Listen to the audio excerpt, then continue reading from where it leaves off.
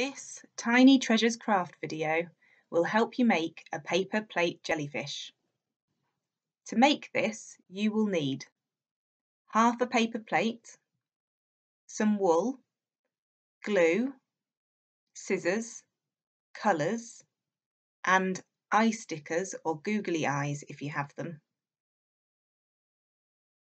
First, colour in your paper plate half however you like.